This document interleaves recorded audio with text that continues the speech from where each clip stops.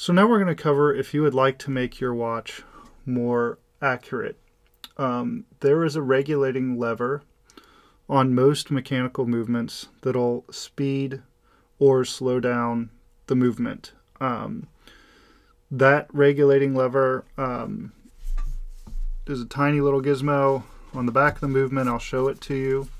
I also want to show you a fantastic tool for timing your watch's accuracy. There is this product called toolwatch.io. They have an app. Um, so before you want to go to speed or slow your watch down, you want to get an idea of how accurate is it right now. Try to get some of the glare off of this.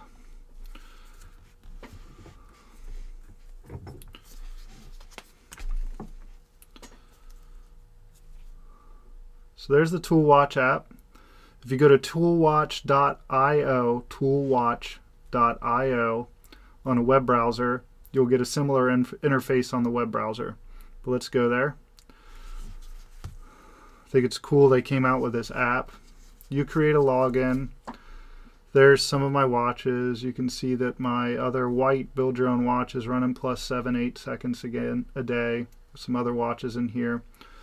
But we want to go down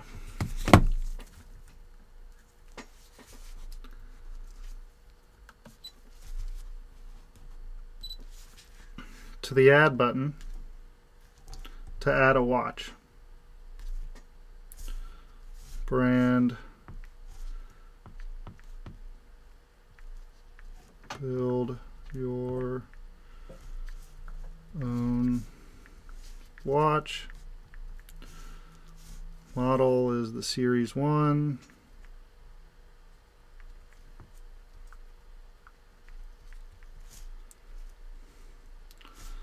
Caliber is an 8215. Oops.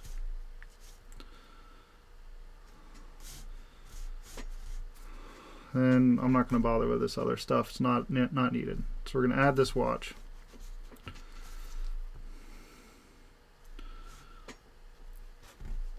once you've added the watch into tool watch, you can do a measure.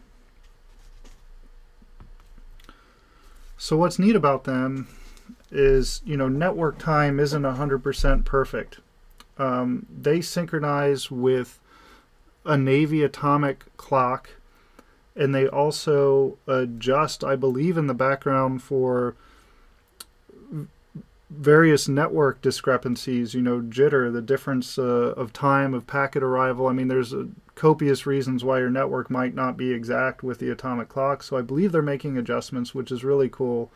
I, I got to confirm that, but I got to believe um, that's what's happening because one thing I've noticed is if you're going to do a measure on one network, make your second measure on the same network. So I'll, I'll tell you what I mean by that.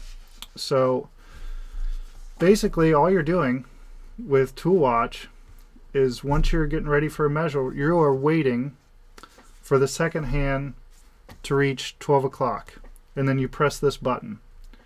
And then 12 hours later, you come back to ToolWatch or anytime after and you wait for the second hand to hit 12 o'clock and you press the button again and there you have your measure.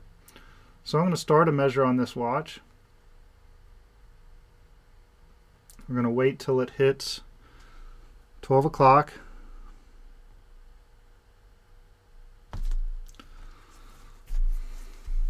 It synchronizes you, you hit done. That's it. That's going to tell you to check back in 12 hours. So you wait 12 hours, and um, especially if your watch is new, I'd wear another watch and just leave it in place. Um, and um, just to accommodate for any skip seconds or uh, you know movement. I mean, you you could try another measure with it's on its side. On other sides, you know, there's a lot of things that uh, affect the the speed of your your movement from magnetism to temperature to the position that it's in. I mean, there, there's a ton of variables. So even even when you get a measure uh, and you measure the same watch again, um, you might be a little bit different, but but not by a ton. So toolwatch.io, toolwatch.io, I recommend these guys. Big time. Get the app. It's awesome. I love it. So let's assume we've already been through the process of tool watch and we know that this watch is running fast and you want to slow it down. So you're going to go ahead, get whatever type of band you have on off. Really easy if you have a NATO.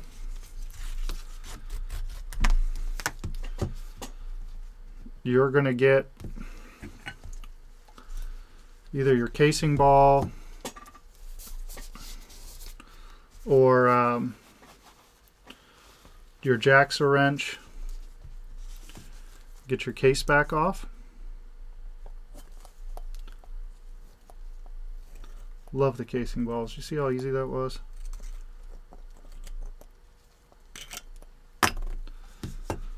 take my case back, face it down, set it aside in a petri dish just so I don't get more dust on it while I'm doing this.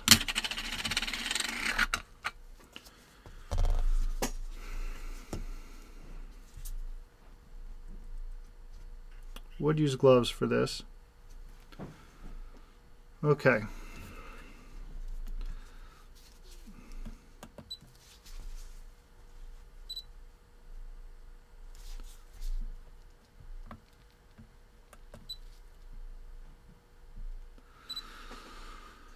So here we have our balance. We have our balance wheel. You see that uh, hairspring oscillating in the background. You could even see the pallet fork going back and forth, the escapement wheel moving. Um, to speed up or slow down the watch, um, you are going to move the regulating lever, which is this guy right here. The hairspring stud, you are not touching at all. I'm going to go ahead and zoom on this even further so I can show you the difference. There we go. So here's our hairspring stud. You can see it has kind of this like triangular shape to it on the end. This little point sticking out. That you do not touch. Um, and if this is your first time doing it, I would take a picture right now of, of where these two are positioned. If you were to accidentally move your hairspring stud, you would want to move it back, but really just don't touch it. And then you've got a positive and negative. So obviously faster, slower. Now, if you want to make it slower, you're moving the regulating lever either this way or this way. You want to think of a straight line across the regulating lever. So you can see right now the regulating lever is set to not plus or minus. It's set right to the middle. So you're kind of turning it in the opposite direction of what kind of makes sense because if you think of a line going across here, that is where the regulating lever is pointing. So moving the regu regulating lever this way will point it towards the plus. Moving it this way towards the hairspring stud would make the watch run slower. Now being that I want to slow the movement down, I want to move the hairspring, uh, the uh, regulating lever towards the hairspring stud. These are micro adjustments. I mean, moving it a little adjusts it a ton. The first time I did this, I moved it maybe halfway in between the center position and the. And I moved it that that little and the watch was running really slow. Um, maybe minus 30. So, I mean, and every every movement's going to be a little bit different. You could use your tweezers to do this. you could use a um,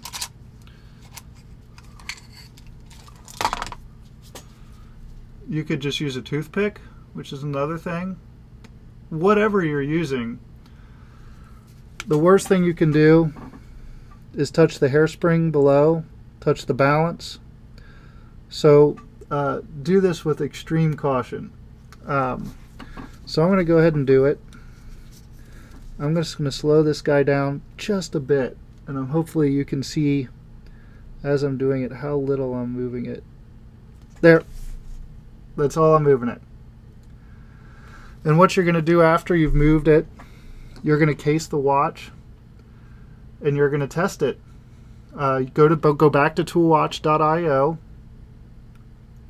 test it, see where you're at. If you're minus 10 and that's acceptable, leave it there. If you're minus 20, obviously you want to speed it back up again. Um, so I'm going to leave it right there, test. You know, this could be a couple day process to find it, uh, find the sweet spot. But if you uh, if you put some time into it,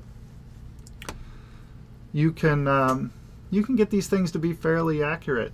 I mean, um, you know, under plus or minus 10 easily, I think.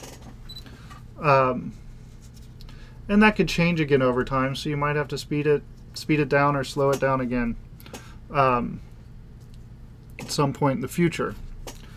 So um, just as you've done before, you're going to want to you know, maybe blow out the movement, make sure there's no dust in there.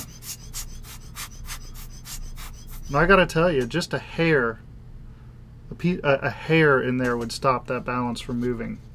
So um, keeping dust out of your case is important.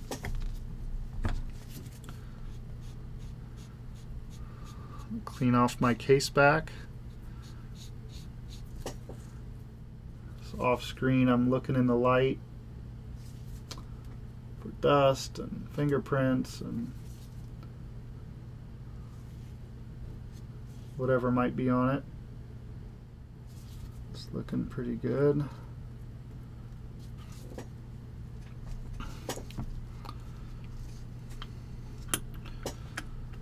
I've I've done this on um, several watches, many watches, and um, it's great. You know, it's amazing. I got a Hamilton um, khaki field, khaki mechanical that was plus 30 straight from the factory, which I thought was pretty pretty egregious for a Swiss watch, but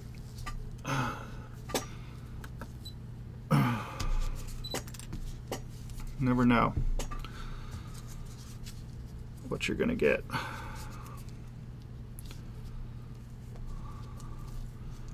use my casing ball. Tighten the case.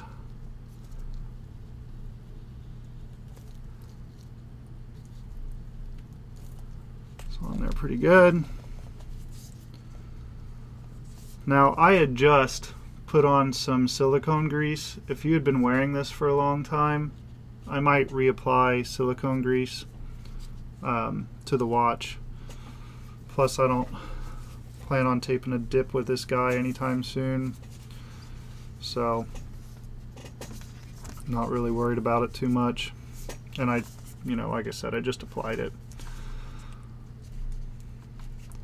But that's how you do that, regulating lever. Don't touch the hairspring stud. And then test, you know, and refine. Might take a couple tries, but you'll eventually be able to get your watch running pretty darn accurate. And if it goes out of accuracy, you know how to fix it again. And now that you've seen the process, um, you know how to do it on another watch. Now, keep in mind, another watch, the regulating lever and the hairspring stud may look different. And if there's any question in your mind about it, don't do it.